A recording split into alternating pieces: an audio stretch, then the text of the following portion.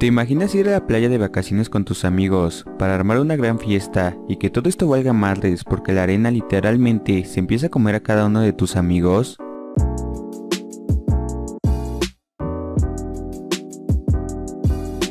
Todo comienza en una fiesta tipo Proyecto X pero en la playa.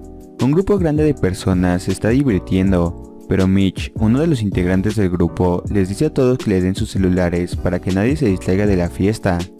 En ese momento Gilbert, el gordito del grupo, encuentra lo que parece ser un huevo, pero nadie le toma importancia a pesar de que esa madre parece extraterrestre.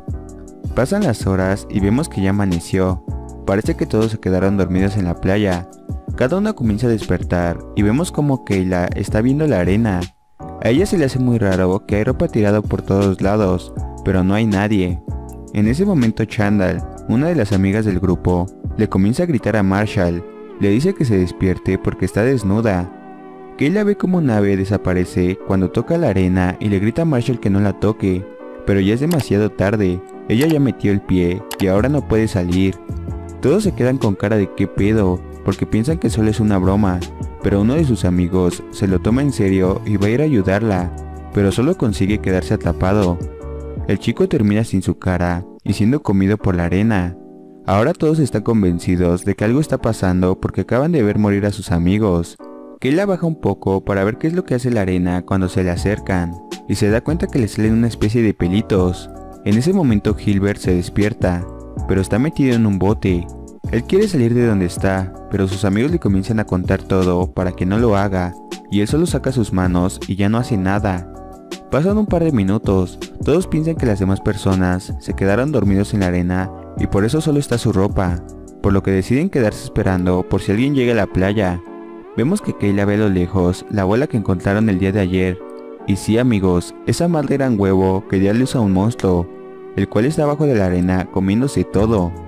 Kayla va en busca de algo para probar al monstruo y termina encontrándose unos cerillos y unas salchichas. Regresa con los chicos y comienza a lanzar las salchichas.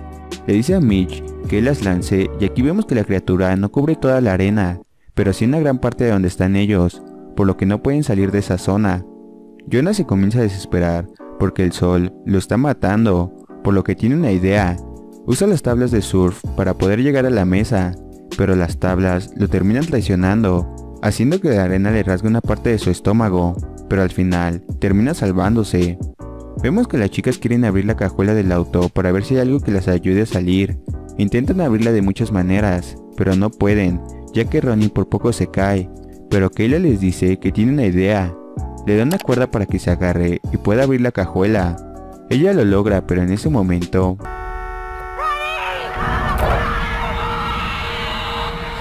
Ronnie casi se cae porque un policía tocó el claxon, pero lo dejan pasar para que el policía los ayude. Le dicen que no se baje de su auto porque si no la arena lo va a matar, pero el policía los manda a la chingada, porque piensa que es una broma. Baja de su auto y sorprendentemente no le pasa nada.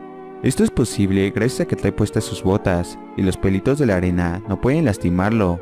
El policía les dice a los chicos que por qué no bajan a la playa y ellos le empiezan a contar todo lo que está pasando, pero en ese momento al policía se le caen sus llaves. Él la recoge pero la arena lo termina tapando y se lo termina comiendo.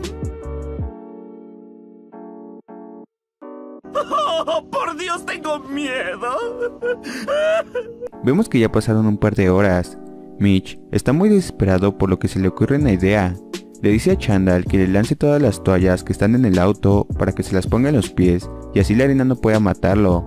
Chandal le lanza una toalla, pero cuando le lanza la segunda, el muy pendejo termina cayéndose, por lo que ya sabemos lo que va a pasar. La arena termina comiéndoselo.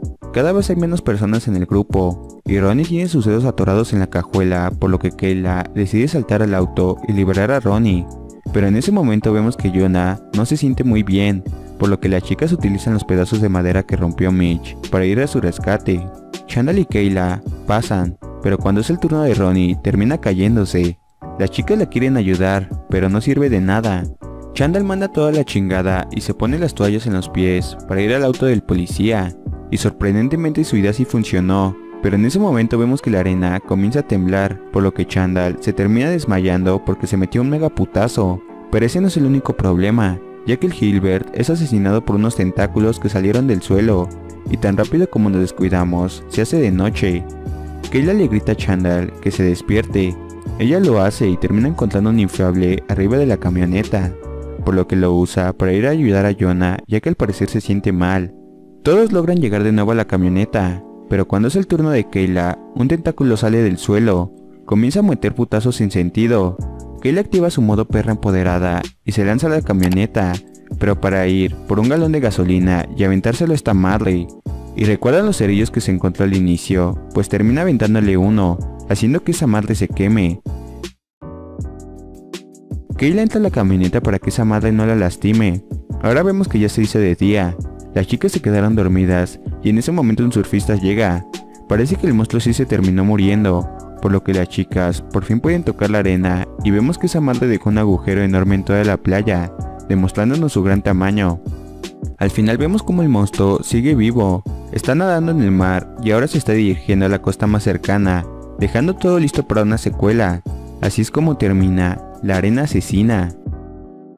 Muchas gracias por quedarse hasta el final del video. No se olviden de suscribirse, darle like y compartirlo con todos sus amigos. Nos vemos en la próxima peli. Obvio. Obvio. Obvio. Esta montona y se me calienta el pico. Vamos lado al pari a ciento y pico. Dame más pa' picar perro que yo lo pico. Y pa' las mujeres bien chorro soy bien rapidito. Y la hago que mueva cintura, agarrada de la cadera. Con locura, yo traje la verdadera. Si quieres hacer travesura, gata ponte bellaquera. Sube la temperatura, vamos a seguirla allá afuera. Eh, siempre andamos activos pa' los files, pa' la gata, par de miles que me gasto con la banda más berraca.